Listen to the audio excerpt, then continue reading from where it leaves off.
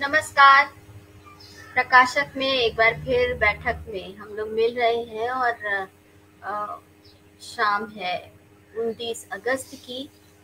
अगस्त का महीना बहुत खास रहा क्योंकि अगस्त स्वाधीनता दिवस तो होता ही होता है। साथ ही हमारी टीम के दोनों जो सदस्य हैं, जो चाँद की तरह चमकते रहते हैं, दो पूनमें उनका जन्मदिन भी अगस्त में ही होता है। तो 11 अगस्त और 19 अगस्त, ये दो अगस्त की तारीखें भी खास रही 15 अगस्त के अलावा। और बहुत मन था कि इनमें से ही किसी तारीख में ये कार्यक्रम किया जाए, लेकिन नहीं हो पाया, संभव नहीं हो पाया। खैर, जब जब जो जो होना है, तब तब वो वो होता है। तो अब ये हो रहा है, और जो हो रहा है, उसका नाम हम बता दें। हालाँकि पोस्टर्स में हम लोगों ने खास तौर से इंगित किया था। पूनम पाठक जी की लिखी हुई कहानी है विदाई की रुलाई। आज उसको पढ़ने वाले हैं हम लोग और हमारे साथ पूनम अहमद जी हैं। पूनम पाठक तो है ही तो आ, सबसे पहले मैं पूनम अहमद जी से कहूँगी कि वो कुछ कहें इस बारे में। हम्म। आप सभी उपस्थित दोस्तों को एक बार फिर हार्दिक अभिनंदन। आप सबका फिर एक बार बैठक में स्वागत है। मैंने कभी सोचा नहीं था कि कोई लड़की अपनी विदाई में रोने की ऐसी तैयारी भी कर सकती है। पर जब ये कहानी पढ़ी तो पता चला कि वाह, ये भी हो सकता है। मज़ेदार कहानी लिखी है पूनम पाठक ने। अब जब भी आप किसी लड़की को विदाई के समय रोते देखें तो ये हो सकता है। आज की कहानी एक बार ज़रूर याद कर लीजिए। अब आप कहानी सुनिए। धन्यवाद। पूनम पाठक जी से मैं कहूँगी कि वो कुछ कहेंगी अभी। आप सभी प्रिय दोस्तों को सादर नमन और अभिनंदन करती हूँ स्वागत करती हूँ आपका हमारी प्यारी सी बैठक में फिर से। और राजुल जी का बहुत बहुत धन्यवाद अदा करती हूँ कि उन्होंने आज अपनी बैठक को मेरी कहानी से सजाया है। और ये एक छोटा सा हास्य व्यंग टाइप से लिखा हुआ है। और आशा करती हूँ आपको पसंद आएगा, आपके होठों पर हल्की सी मुस्कान तैरेगी। बस यही मेरी मेहनत रहेगी, मेहनत की फल रहेगा मेहनत का। थैंक यू सो मच दोस्तों। हमारे साथ इस समय जुड़ चुकी हैं पल्लवी पुंडीर जी हिना अहमद जी, सुधा जुगरान जी बहुत बहुत स्वागत है आप सभी का। आदरणीय संजीव जायसवाल जी हैं हमारे साथ, नमस्कार, बहुत स्वागत है आपका। साहिल अहमद जी हैं, स्वागत है। ताजुद्दीन अहमद साहब हैं बहुत बहुत स्वागत है आपका। हेमा बिष्ट हैं, बहुत स्वागत है आपका और ट्विंकल हैं हमारे साथ। बहुत बहुत स्वागत है। वशिष्ठ पाठक जी हैं बहुत बहुत स्वागत है आपका भी। मंजू मेहरोत्रा जी, स्वागत है। और अब ये कहानी मैं पढ़ना शुरू करने वाली हूँ। मैं मैं क्या पूनम पाठक जी इस कहानी का वाचन करेंगी। तो कहानी विदाई की रुदाई पूनम पाठक जी की। लिखी हुई आज तैयार होकर आ ही गई मेरी शादी की सीढ़ी। पग फेरे के दौरान मायके आई मैं अपनी बेस्टी रिंकू के साथ शादी की सीढ़ी देख रही हूँ। बीच बीच में हमारे कहकहों से पूरा घर गूंज उठता है। सच्ची, कितना मज़ा आ रहा है। एक एक रीति रिवाज को अब एंजॉय कर पा रही हूँ और सबसे आखिरी में ये विदाई की रस्म? यार, इतनी हाय तौबा के बाद आखिरकार कितने अच्छे से रोई हूँ मैं, है ना? कहते हुए मेरा बावला मन शादी के मंडप के नीचे जा खड़ा हुआ। वहाँ किसी बात पर मेरे ज़ोर से हंसने पर माँ का प्रवचन चालू था। देख, अभी से समझाए दे रही हूँ। विदाई के वक्त तेरा रोना बहुत ज़रूरी है बेटा, नहीं तो हमारी बड़ी बदनामी होगी। अब लोग तो यही कहेंगे ना कि बेटी को कभी प्यार ही नहीं किया तभी तो जाते वक्त बिल्कुल रो ही नहीं। अच्छे से समझ ले वरना पता चला उस वक्त भी खी करके हंस रही है। पर क्यों माँ? अकेला लड़का वो भी मेरी पसंद का। अच्छी जॉब और पैसे वाला। सास ससुर इतने सीधे कि अगर मैं रोई तो वो भी मेरे साथ ही रोने लगेंगे। फिर क्यों ना हँसते हँसते विदा हो जाऊँ? अरे नाक कटवाएगी क्या? हमारे यहाँ लड़कियाँ विदाई के समय पूरा मोहल्ला सर पर उठा लेती हैं। देखा नहीं था? कुछ सालों पहले तेरी बुआ की शादी हुई थी। कितना रोई थी वो? अरे माँ, बुआ तो इसलिए रोई थी कि तुम लोगों ने उनकी शादी उनकी पसंद से न करवा के दुहाजू, बूढ़े, खड़ूस से करवा दी थी। बेचारी बुक्का फाड़ के न रोती तो क्या करती? तभी दादी ने भी माँ का समर्थन करते हुए आँखें तरे दी अपनी माँ की सीख गांठ बाँध ले लड़की। हमारे खानदान में बिता में नहीं रोने को। अब शकुन मानते हैं समझी? क्या करूँ? कैसे रोऊं? विदाई का तो नहीं मालूम। पर फ़िलहाल मुझे यही सोचकर रोना आ रहा था कि मैं विदा पर कैसे रोऊँगी। मैंने अपनी सहेली रिंकू को झिझोड़ा। बताना रिंकू क्या करूँ जिससे मुझे रोना आए? अरे ये भला मैं कैसे बता सकती हूँ? थोड़ी सी प्रैक्टिस कर रोने की शायद काम बन जाए। क्या बताऊँ यार? आईने में देखकर कई बार रोने की प्रैक्टिस कर चुकी मगर हर बार नाकाम रही। क्या करूँ? नहीं रोई तो बड़ा बवाल मच जाएगा। दादी बुआ चाची यहाँ तक कि मम्मी ने भी खास इंस्ट्रक्शंस दिए हैं कि स्टेज पर बैठी खाली खीसे न निपोरती रहूँ बल्कि विदाई पर कायदे से रोऊं भी। ओफो! ये कायदे से रोना क्या होता है? रोना तो रोना होता है। और फिर मैंने कोई पीएचडी थोड़ी कर रखी है रोने में। इस टॉपिक पे कि तुझे टिप्स दे दूँ? कुछ तो कर यार। अगर विदाई में न रोई तो बड़ी जग हंसाई होगी। मेरे यहाँ जब तक मोहल्ले के आखिरी घर तक रोने की चीखें न पहुँच जाएँ, तब तक विदाई की रस्म पूरी नहीं मानी जाती। मेरी मामी की लड़की तो पिछले साल इतना रोई थी कि सुबह की बारात दोपहर तक विदा हो पाई थी। हाँ ये बात अलग है कि उसका अफेयर कहीं और चल रहा था और शादी कहीं और। पर मैं क्या करूँ? मेरी तो शादी भी मेरी पसंद से हो रही है। कहीं कोई रुकावट नहीं, कोई ज़बरदस्ती नहीं। तो आखिर कैसे रहूँ मैं? ओफो, क्या मुसीबत है? ठीक है, देखती हूँ क्या किया जा सकता है। दो दिन बाद अपने होने वाले साजन की याद में एक गीत गुनगुनाते हुए मैं पिया बावरी हुई जा रही थी कि रिंकू ने चहकते हुए घर में एंट्री ली। ले भाई खुशखबरी है तेरे लिए। मिल गई रोने की जादुई चाबी। चल चल मेरे साथ। देख वैसे तो सात दिन की ट्रेनिंग है पर मैंने बताया कि हमें थोड़ी जल्दी है तो वो डबल चार्जेस लेंगी और हमारा रजिस्ट्रेशन कर लेंगी। क्या बात कर रही है? ट्रेनिंग और वो भी रोने की? हाँ मेरी जान। विदाई में सही से रोने की ये प्रॉब्लम अब सिर्फ़ तुम्हारी थोड़ी है। अब तो ये राष्ट्रीय प्रॉब्लम बन चुकी है। आजकल दुल्हनों को उनके दुल, मनपसंद दूल्हे जो मिलने लगे हैं। अब उन्हें रुलाई आए भी तो कैसे? इसी समस्या से ये ट्रेनिंग सेंटर निजात दिलाता है। जो दुल्हन के साथ उसकी सखियों को भी विदाई पर कैसे रोना है, ये सिखाएगा। इसका मतलब मैं सही से रो सकूँगी अब? हाय तू नहीं जानती तूने मेरी कितनी बड़ी प्रॉब्लम सॉल्व कर दी। सच्ची कितनी अच्छी है तू। आ, लेकिन अब ये लेकिन लेकिन बीच में कहा से आ गया? अभी तो तेरी खुशी का कोई ठिकाना नहीं था। नहीं नहीं खुश तो बहुत हूँ मैं पर डबल चार्जेस मेरा मतलब क्या कुछ कम नहीं हो सकता? अगर कुछ कम में काम हो जाए बात यह है अभी मुझे दूसरे बहुत से खर्चे हैं। कुछ मैचिंग ज्वेलरी लेनी है बाकी पार्लर का भी पूरा खर्च बचा हुआ है। मम्मी से मांग नहीं सकती। वो पहले ही कह चुकी हैं कि जो रुपए उन्होंने दिए हैं उसी में मुझे अपना सारा काम चलाना है। लो देख लो इनको। अरे भाई बड़ी मुश्किल से तो पता किया है। पर इन्हें इसमें भी मोल भाव करना है। देख अब तू ज़्यादा टाल मटोल मत कर। डिसाइड कर ले चलना है कि नहीं? अरे पहले वहाँ चलकर देख तो ले फिर बार्गेनिंग करती रहना।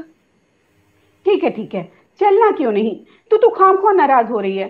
चल बाबा। मैं झट कान पकड़ते हुए उसकी स्कूटी पर पीछे बैठ गई। कुछ ही देर में हम दोनों शहर के प्रतिष्ठित मॉल के बाहर खड़े थे।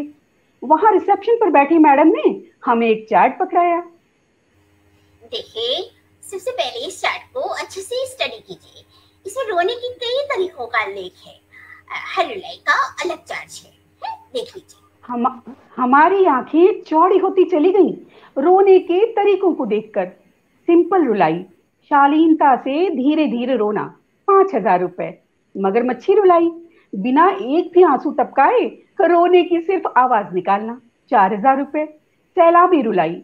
ऐसे जोरों से रोना, मानो सैलाब आ गया हो। साढ़े तीन हज़ार रुपए। दहाड़े मार रुलाई। रुक रुक कर दहाड़े मारना। जैसे कहीं बम के धमाके हो रहे हो, तीन हज़ार रुपए। सिसकी रुलाई। सिसकते हुए रोना। ढाई हज़ार रुपए। सम्मिलित रुलाई। सभी सखियों सहित एक साथ रोना दो हज़ार रुपए।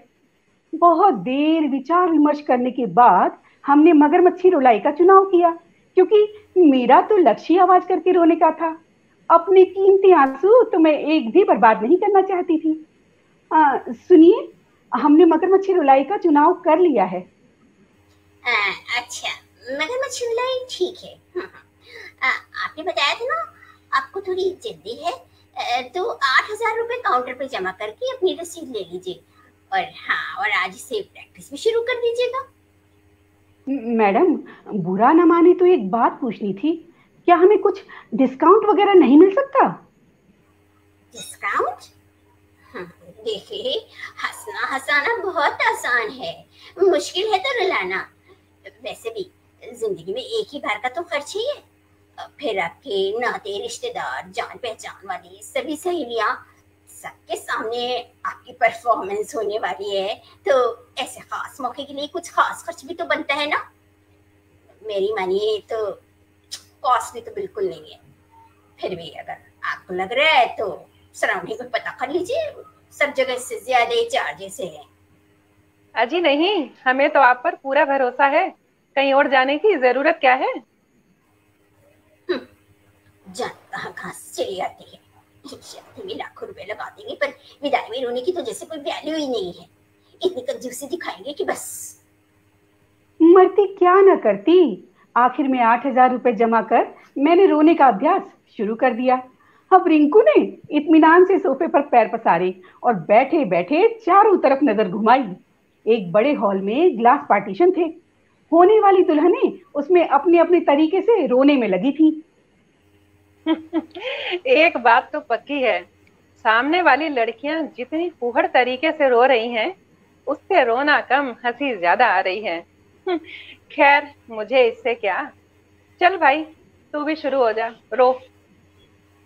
करीब आधे घंटे बाद हम दोनों वहाँ से निकली तो ट्रेनिंग सेंटर की सीढ़ियाँ उतरते वक्त अचानक मेरा पैर फिसला और मैं लड़खड़ा कर गिर पड़ी।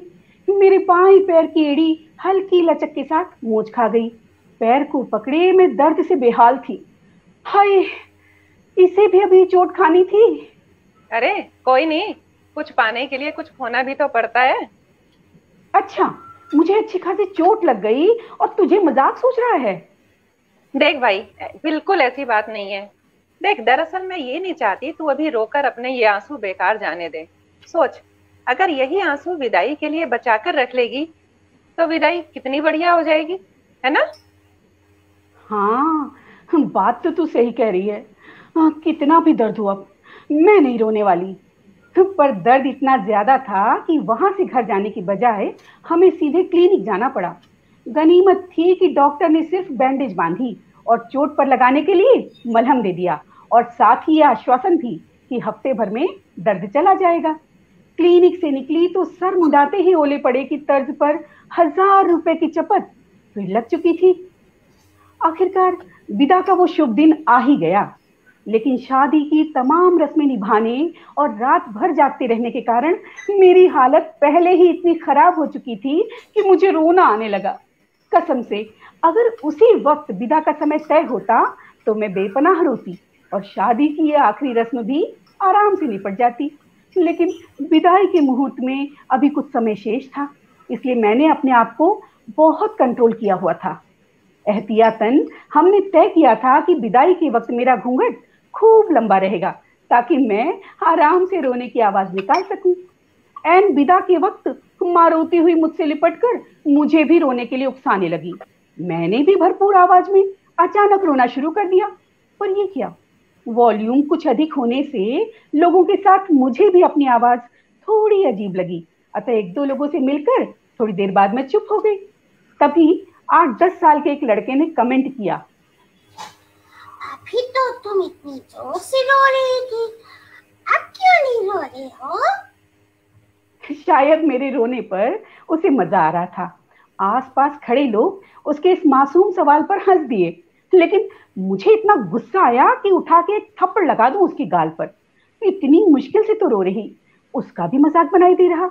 मैंने उसे घूंघट के अंदर से ही घूरा और वो बिना डरे बदले में मुस्कुराता हुआ मुझे देखता रहा। वक्त की नजाकत देख मैंने जैसे तैसे अपने को रोका और थोड़ा धीमे स्वर में रोते हुए आगे बढ़ने लगी कि सामने कुर्सी पर बैठी दादी अचानक बुक्का फाड़ कर रोने लगी। हमारी लाजों में पल्ली बिटिया आज पराई हो गई अब हम किसके सहारे जिएँगे? अभी ये भी तो बाकी हैं। सोचती हुई मैं हैरान, परेशान, उनसे गले मिलने थोड़ा झुकी ही थी कि ऊँची हिल की नई सैंडल ने गच्चा दे दिया और मेरा पैर स्लिप हो गया। भर भरा कर मैं दादी के घुटनों पर आ गिरी। आई! एक ज़ोर की चीख मेरे मुँह से निकली और मैं सिसकियाँ लेने लगी। आँखों में अचरज का भाव लिए दादी ने मुझे चुप करवाने की बहुत कोशिश की, पर मुझे न चुप होना था और न मैं हुई। दरअसल गिरने से मेरी उसी एड़ी में फिर चोट लग चुकी थी, जो पहले ही तकलीफ़ में थी। एक तो भारी थकान से चूर, ऊपर से चोट में दर्द भी बहुत हो रहा था, इसलिए अब मुझे असली का रोना आने लगा। लोग आते गए और गले लगाकर मुझे चुप कराते गए, पर मुझे जितना चुप कराया जाता, उतनी ही ज़ोर से मैं दहाड़े मारने लगती। इसी बात पर तो सबसे ज़्यादा हैरानी मुझे थी कि सबके रोने पर ठहाका लगाकर हंसने वाली तू अपनी विदाई पर इतनी ज़ोर ज़ोर से कैसे रो रही थी? अरे तो क्या करती? पैर में दर्द इतना हो रहा था। एक्टिंग करते करते मुझे सच्ची का रोना आने लगा था। हम्म, जो हुआ अच्छा हुआ। भला हो उस ट्रेनिंग सेंटर का जहाँ जाने से लगी चोट तुझे इतना दर्द दे गई कि तेरी विदाई सबके लिए यादगार बन गई। और फिर देखना तेरी शादी की सीडी भी क्या खूब बनी है। हम दोनों के कहकहों से एक बार पूरा घर फिर से गूंज उठा था। थैंक यू दोस्तों। तो इस तरह से विदाई की विदाई संपन्न हुई और बिल्कुल वैसे ही संपन्न हुई जैसे पूनम पाठक की चाहती थी। वैसे इतना सजीव लिखा कि ऐसा लगा कि जैसे ये आप बीती जैसी ये अपना अनुभव ही है।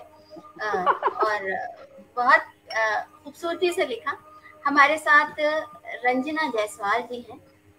उन्होंने कहा है कि बाप रे रोने के लिए भी ट्रेनिंग जी बिल्कुल ऐसा हो, होता है और आपने देखा कितनी खूबसूरत तरीके से हुआ और उसको कितने अच्छी तरीके से परफॉर्म किया। हमारी जो कहानी की हीरोइन थी उन्होंने कितने अच्छे से परफॉर्म किया। रोना अपना। हेमा बिष्ट जी हैं। स्वागत आपका। अनामिका सिंह जी है। बहुत बहुत स्वागत। सबा जहानिया जी, बहुत स्वागत। नीरजा श्रीवास्तव जी, स्वागत है आपका। पुलिस जोशी जी, नमस्कार बहुत बहुत स्वागत है आपका। मिनी सिंह जी हैं बहुत बहुत स्वागत है आपका।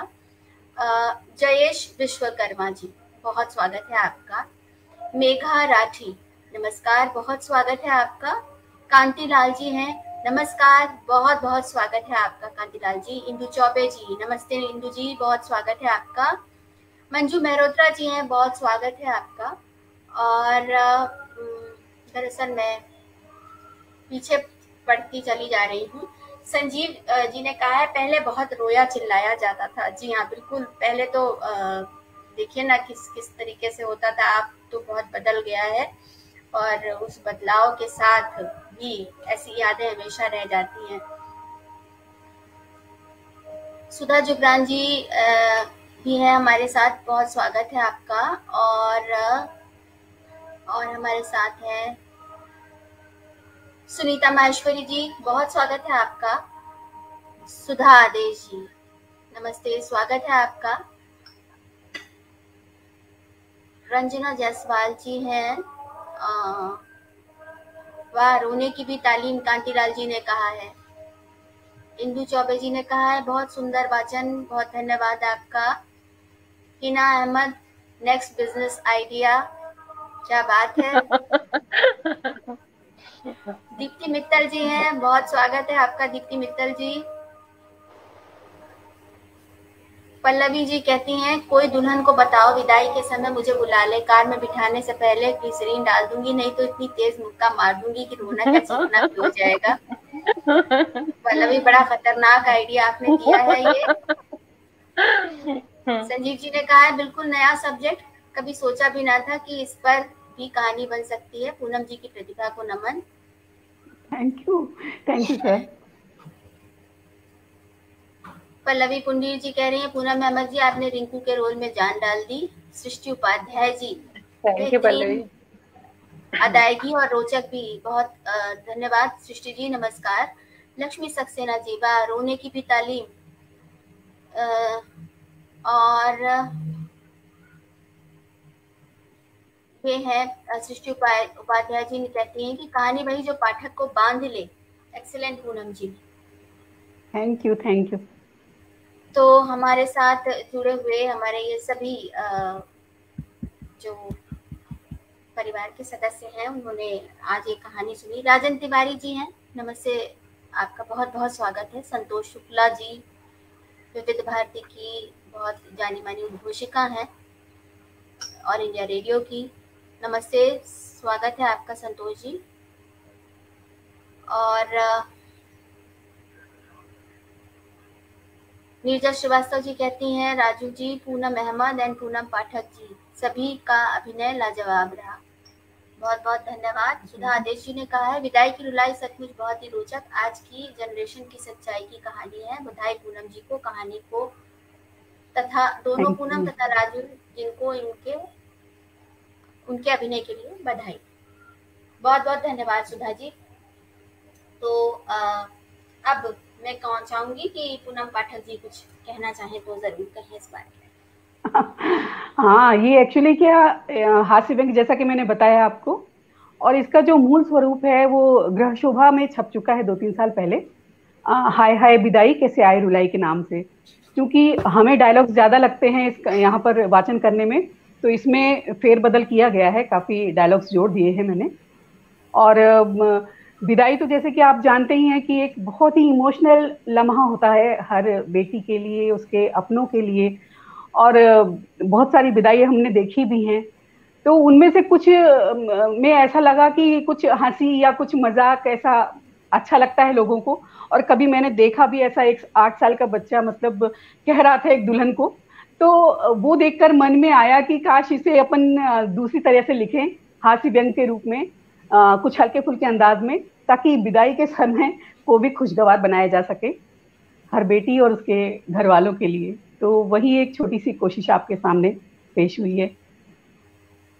अनीता सरन जी हमारे साथ बहुत स्वागत है आपका।